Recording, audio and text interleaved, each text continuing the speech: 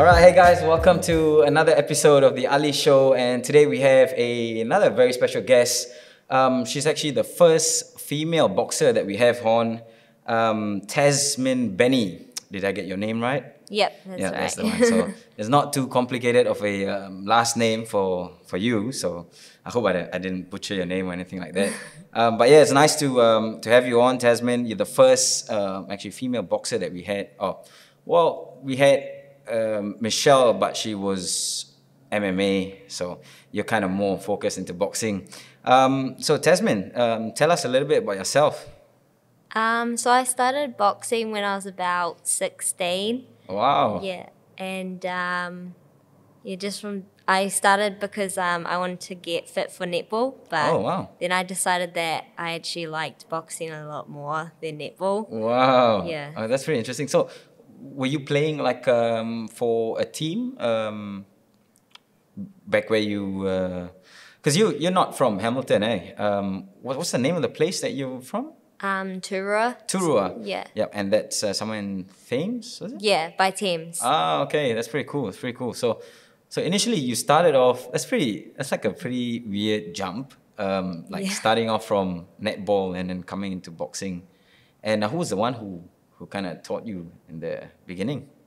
Um, well, my dad, he was actually like training for corporate fights and stuff with his friends, um, like um, Cairo's brother, Sean George. Oh, okay. Yeah, we were training in um, his garage, and so Oh, I just went in, started training with them. Oh wow! And then you just you know you just gravitated towards it, and you pretty much. So from when you first started, like uh, when when did you decide like to get serious? You know, with boxing. Um, they kind of like my dad and Sean kind of pushed me into the ring a little bit, like with my first fight. They're like, yeah, just have a go, like start sparring and stuff. And then, yeah, I won my first fight. And like, once I put my like arm up, I was kind of just hooked. I wanted to Oh. fight again. Wow, you just like kept going. yeah. Oh man, that's pretty cool. And um, yeah, it's pretty it's pretty interesting. Like the um, from what I know, you're from like a quite a small town. And um, is, is there like a, a bit of a, a, a boxing following over there or Um, not really? Well, not in Turua, like Yeah. kind of in Thames. I think there was one, like quite a bit before my time, like another boxing gym, but then they stopped going, and then Sean started a new gym, Never Surrender. Oh, never surrender. That's what- Yeah. oh, wow, that's a pretty cool name for a gym. Yeah. And so that's where your dad went in and then Yeah. kind of joined. Oh man, that's pretty cool. Um, yeah. So how have you been um, lately with you know how everything's going on and uh, like you know how are you reacting to this whole situation? Um, it's hard because I train up in Auckland. Like I was with Never Surrender, and then I've started going with um, Cam Todd up in Auckland. And I can't go up to training at the moment because they're all in level three. So I've just been training down here.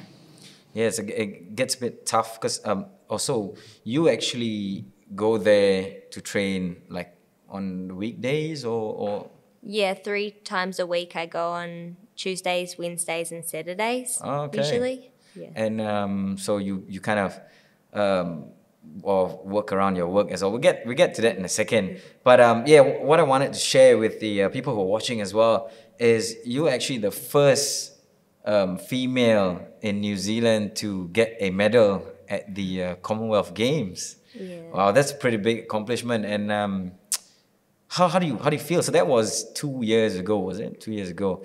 And so you started in 2016, am I right? Yeah. So two years after you just first picked up a pair of gloves and you represented the country at the Commonwealth Games. That must have been a pretty big accomplishment for you. How do you, how do you feel about that? What was that whole experience like? Um, it was pretty amazing. Like, yeah, I didn't, I didn't expect to win a fight or, you know, like medal or anything like that. It was more for like the experience. Yeah, I was just shocked to be going to the Commonwealth Games. To be honest, like, it was, yeah, So you, you, you were not expecting that at all. No. Uh, so you just pretty much just like uh, you were competing um, every uh, every month, was it? Did how often did they have the uh, the amateur fights? Um, they have them quite often. Mm. We went to quite a few, but um, my weight, like, there's not that many girls in it. So what, yeah, what weight are you fighting at? um, I fought at f- under 48 when I went to the Com Games, but now I'm under 51. Under 51. Wow. Yeah. Wow, it's awesome. So like, um, man, that's pretty impressive. Like, I'm, I'm still quite, you know, I'm still quite surprised. Like, you know, just two years into just starting, and you know, you've gone up to go to and fight at the Commonwealth Games. So that's pretty impressive. Like, you know, it, it, sh- it just goes to show that, you know, if you put in like the work and you know you're dedicated to it and you just continue learning, like, you could achieve pretty cool stuff. yeah. You know, and um, so going to the Commonwealth Games, uh, what was that experience like for you? Like over there, you know, and uh, share. Could you do you have any interesting stories to share about that one? Hey, you! Don't forget to subscribe, like, and share this video. Um, it was pretty cool. Like, I didn't realize like they make a whole village for, yeah, for like all the competitors. So Wow. yeah, Mm. you're Eh, in where was this again? Sorry, it was a Gold Coast. Gold Coast. Yeah, yeah. that's right. Mm-hmm. So they made like a village there, and pretty much all the everyone from everywhere kind of stays around there. Oh, that's pretty pretty cool. Yeah, Mm. there's like huge buildings and stuff, and there's like smoothie places and ice cream places that are all free. but um, I, I don't know if the ice cream's any um, you know. yeah, I it couldn't helps. have any. Oh man, that sucks. up. they put the free ice cream there, yeah. but you just can't have any. Oh man, and um, the they like uh, in terms of food and all that. How, how is that? Like you know.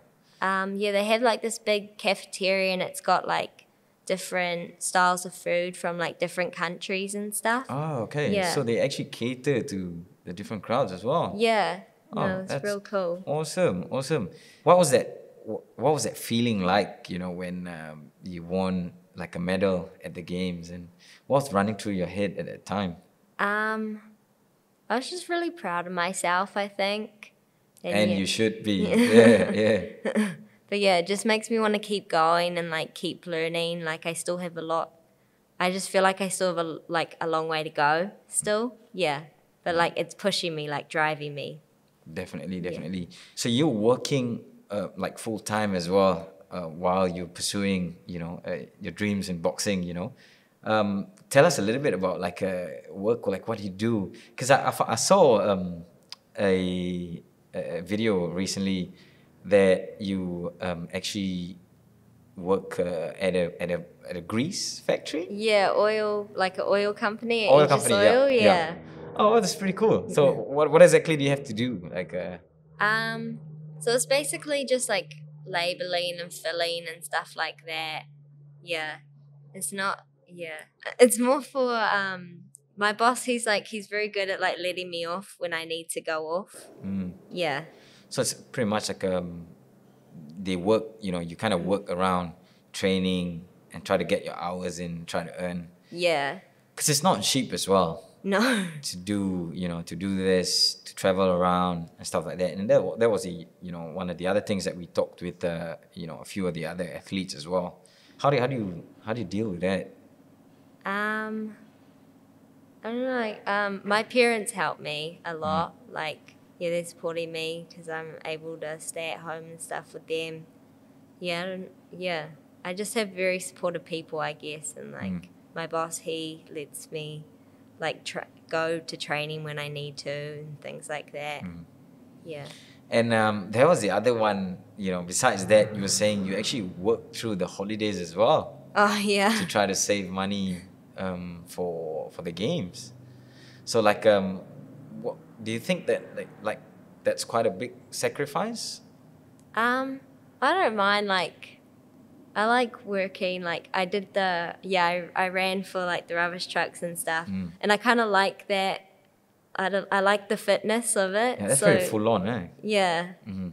Yeah, a lot of fitness and like a lot of like weights for because I was always on the glass as well, so it was quite heavy. Wow. Yeah. With the bins. Yeah. Ah, and but like it's still it was still it's still the smaller bins over there. I think now they're gonna change it to the the big um, bins, eh? So I don't know how that works. Yeah, I'm not sure. You might might have to. Oh, it might not even have to carry that anymore. So like if they use the big ones, obviously you're not going to be able to lift that thing because that's huge. you know. Yeah, I think they have like a the So, fork yeah, the- and it picks yeah, it up and it just dumps it in the yeah so that's pretty cool like um uh, some I, I think in up in Auckland they already had those and then um, in Hamilton they just started sending out or not just but I think uh, from a month ago they started sending out the bins and uh, I think should be from the end of this month or whatever they're gonna start so that's, that's pretty cool you know just uh, well it helps to um, save the environment and making an effort to you know uh, do better recycling and stuff like that. So that's pretty awesome. I think that's a big one. Talking about waste, you know, there's so much waste as well. So it's got it's all got to go somewhere. You know, and but oh, what's what's the interesting thing about uh, um, Thames as well is I like how it's pretty quiet over there, very chilled, and um, uh, so you you grew up in Thames. yeah And- around there. So how do you how do you feel like you know being from a quiet kind of you know countryside living to coming to like the city you know training up Auckland how's that how's that been for you Um, I definitely like the countryside a lot better than the city. yeah Yeah, I like the traffic's a bit hard Mm. and stuff, but like, yeah, and I understand your dad actually gets does he get quite involved with you eh?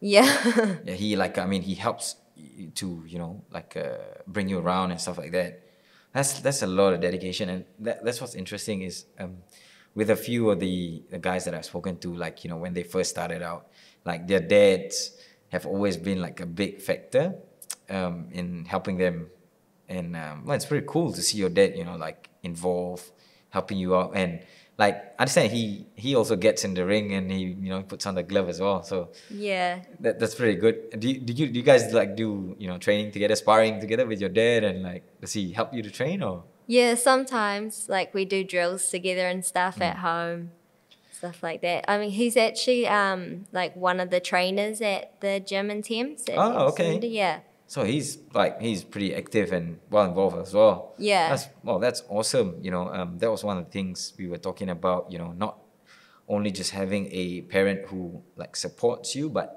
who gets in and does it with you as well. That's like another thing altogether. Do you think um, if your dad uh, wouldn't have been there to push you, do you think you would be where you are? Or?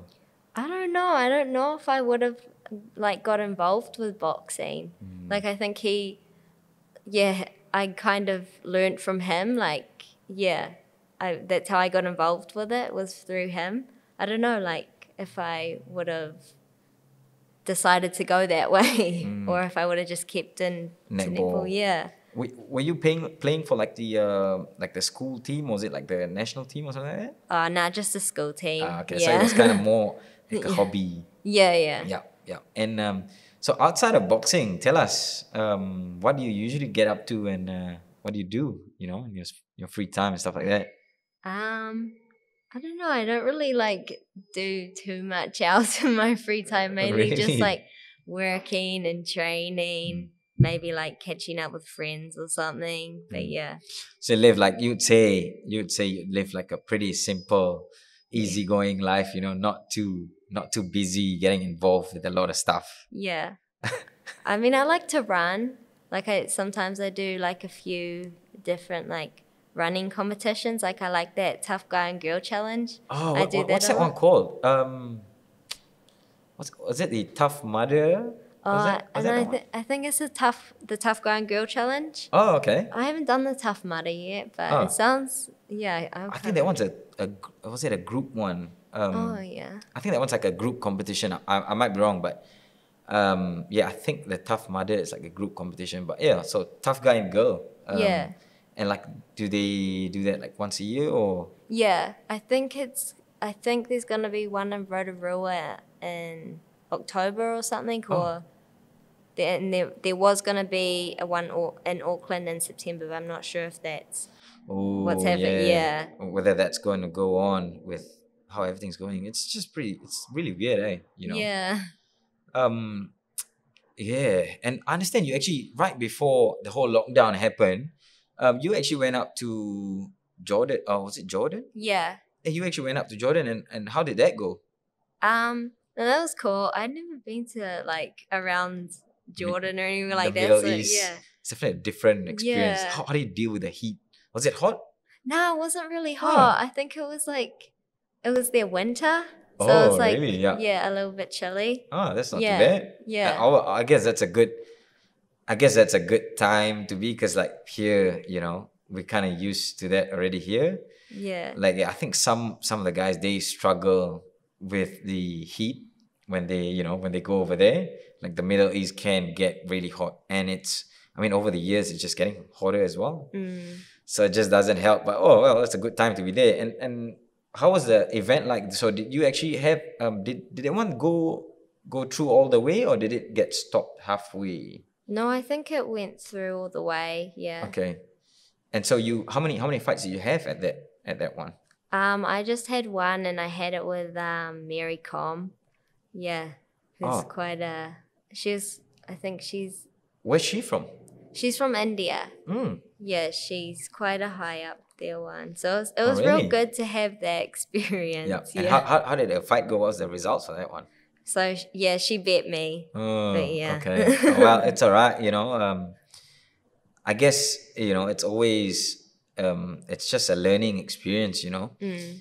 you you you did it once, so now you know like what you did wrong or you know what you could improve on, and hopefully the next time you can beat her. You know, Yeah. yeah, and that's I guess that's the way how you is that how you look at it usually or like Yeah, definitely. It Mm. just makes me want to like get back in the ring and like try different things come and up with a work new on game different plan? things. Yeah. yeah, yeah. So you're pretty. You must have like a lot of ideas like running in your head already. Yeah. And um, so that was just that one fight, and then, oh, oh yeah. So it's like an elimination. Yeah. Uh, okay, okay. And so you is there? Do you reckon there's gonna be any more um competitions before the Olympics? Because that one's got um from what I understand from David, he was telling me the well he he fortunately he Yeah. qualified. He got the ticket for it. So is there any more um chances for you to be able to get a a spot in the Olympics or Yeah, I think there's one more chance. There's like the world qualifiers. ah and when like where is that or when is that supposed to be? It was supposed like it was supposed to be I think in Paris like like May this year, Yeah, but I I Yeah. think obviously that. yeah, I'm didn't really sure when it's moved to now. Oh, and also oh was it? I can't remember. Um, might have been before or might have been uh that might have been quite a wee while back. But um, I remember they had the protest going on in Paris. I didn't know. Um, yeah, that's, that's I can't remember when that was, but yeah, they had the um. I think was it the oh I don't want to quote wrongly, but they had like an orange or yellow vest protest or something like that. So they all wore vests and like they were protesting against the government and stuff like that. Oh, and yeah, really? it, it was pretty full on. Like you know, there was like you know they were smashing up the restaurants along that you know that whole street. Um, yeah, that where it goes to the um that big tower right in the middle. I don't want to say the name because I'm gonna butcher the the actual name of it. I gotta check with some of my French friends how you say it. But yeah, um, so there was like you know riots and you know with the police and the people. So that was pretty crazy, you know. Oh, but no, I I I guess it might have like settled down or you know stopped or whatever so if they were gonna organize the you know the world championships there. So obviously yeah. I, I don't think it would be a good idea for like for them to organize a you know a world competition, international competition, and then with that still going on. Yeah, that must have been a wee while back. So look, that one's um postponed, and um, did they have they given a date for when that's gonna be or? Um, I'm not actually sure. I Hmm. haven't heard anything about it yet. Okay. Hey you, don't forget to subscribe, like and share this video. Other than India, um, who are some of the other fighters that you have fought? Who I've fought. Mm. Um, I've fought. Um, just trying to. Think. um, I fought one, a couple from Spain, um, Australia. Uh, I've sparred a few from Italy. Like Hmm. we, yeah, we went on a camp and we like went and done some sparring in Italy. Um, I don't- like I fought quite a few people. I don't really re- exactly remember where they're from. Mm. Which would you say was like uh what would have been one of the toughest um, fights that you've had so far? Um, yeah, I'd say the one that I've just had. I just had with Mary Kom. Mm, the She's like- Indian Yeah, national. Um, oh, that's pretty interesting. Yeah. And that's the most recent one as well. yeah, she's Ooh. very skillful. Mm. Yeah. Is She what, what kind of uh how would you describe like uh, what kind of fighter um she was like what Well, kind of she- style did she have? She's southpaw like me. Oh, but yeah. okay, yeah. She's very technical, like her it's her like yeah, her front yeah, her lead hook. Mm. Yeah, I think that was like the one thing that I needed to work on because that was the one thing she was getting me with a lot. Oh, Yeah. okay, okay. So time to work on it and uh, better be careful, right? Yeah. Tasmyn's gonna come back a different fighter and uh, you know, well and improved, upgraded version. Oh, one of the one of the questions that I wanted to ask, like, um, how much how much do you usually have to save up to go away for like a competition or event like this? Um it's quite a lot. Wow. Uh, I think like yeah, the last one was like fifteen thousand something like that. Wow, fifteen thousand. I think. Whoa. But we yeah, it was quite a long time we were away for. Yeah. Like over a month, like or like around a month I think we were. I think that was how much it is. Like usually um Boxing New Zealand, they'll cover the cost and then we pay them back. Oh, okay. Yeah. Yeah. So, yeah, it- so I've just been paying them paying them back slowly. Wow, it's Yeah. still it's still quite a lot of money. Yeah. So you'd have to wow, you'd have to like work quite a bit to be able to cover that as well. Yeah. What about like um are you getting like uh you know besides like you know you funding yourself uh, and you know a little bit of help from your family as well um do you do you have like any sponsors or any help like that Um no, not really. Whoa, really? Okay, okay. I guess well, that might be something for you to look into, Yeah. or anybody who's watching, you know, um, possibly could work towards um something like that, you know, because I guess that's the that's the other one. Like, uh, from what I know, uh, some of the other fighters, like you know, they have a little bit of sponsorships and some help as well, you know, just to make it a little bit easier.